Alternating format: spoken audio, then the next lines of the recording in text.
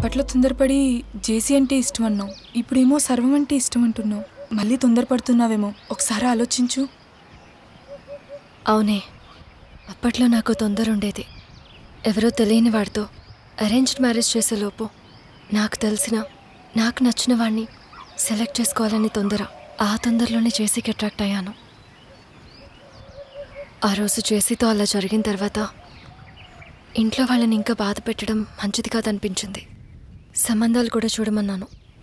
సర్వం ఎప్పుడు ఇష్టపడ్డానో కూడా తెలియదు తన పక్కనున్నంతసేపు చాలా బాగుంటుంది. మా అన్నయ్య మొన్న సంబంధం తీసుకొచ్చాడు.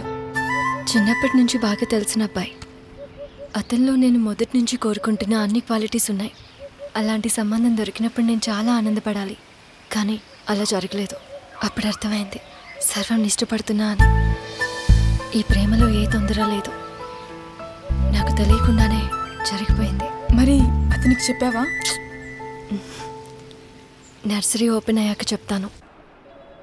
జేసీ గారు చెప్పండి. నేను చాలా టైర్డ్గా ఉన్నానయ్యా.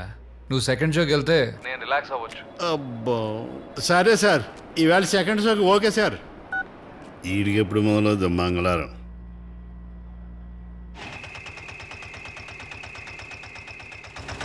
బాబు మళ్ళీ అదే థియేటర్ బాగానే ఇది ఆఫీసు రాడు దీని బట్టి టైంకి వచ్చేస్తాడు.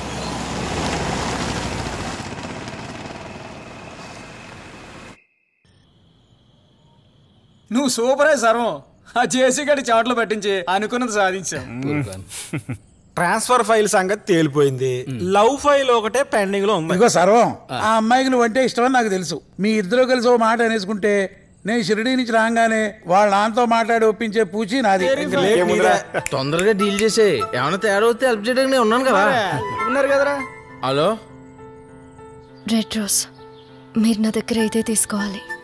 నా గుర్తుగా ఈ ప్లాంట్ ఎప్పుడు మీ దగ్గరే ఉండాలి. ఎందుకంటే రెడ్ రోజ్ ఇస్ వల్ల ఇలా చెప్పొచ్చా? ఏడ్చినట్టుంది నీ ప్రపోజల్ నిజంగానా? రాణి గారు బాగున్నారా? రేపే కదండి ఓపెనింగ్? బాగా బిజీగా ఉన్నట్టున్నారు. రండి తత్కాల్ ఎలా ఉన్నారు?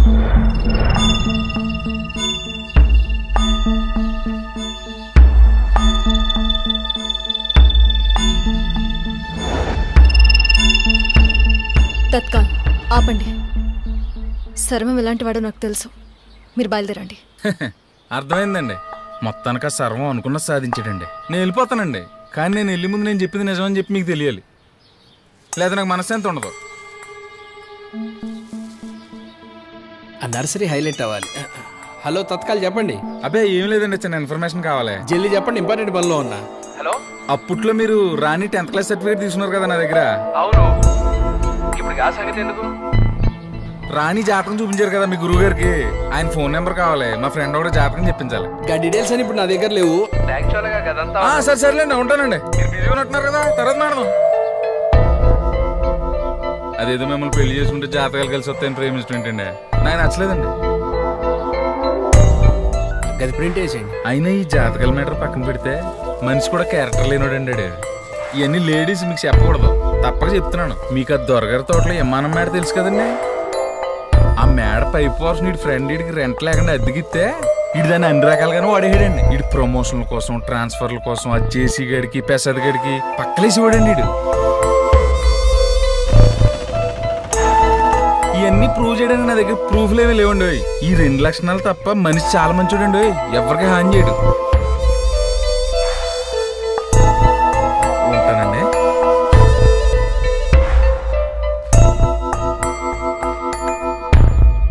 ఏమైనా తేడా వస్తే హెల్ప్ చేయడానికి నేను ఉన్నాను కదా. హలో?